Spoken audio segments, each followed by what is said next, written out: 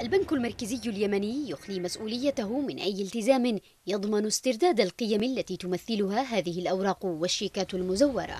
هذا ما أكد عليه محافظ البنك المركزي اليمني منصر القعيطي تعليقا على إلقاء السلطات الأمنية كميات من الأوراق النقدية المزورة والمنسوبة للبنك المركزي.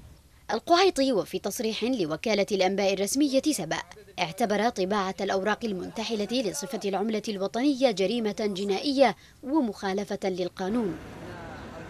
متهما عصابات متخصصة في تزوير العملات والأوراق المالية تتبع الميليشيا الإنقلابية في صنعاء.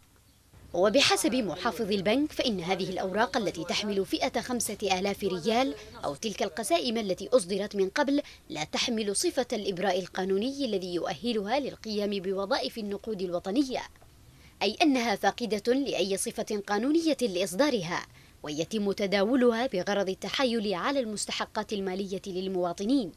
ما يتسبب بشكل مباشر في تبديد أموالهم وكذا تهديد سلامة الاقتصاد الوطني.